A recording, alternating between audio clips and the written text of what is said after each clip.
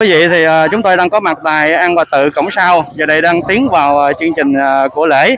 À, cập nhật cho quý vị được xem ha. Anh thấy à, bà con đồng đạo trở về trong buổi sáng ngày hôm nay anh thấy sao anh? Thì à, cái sự à, gộn nhịp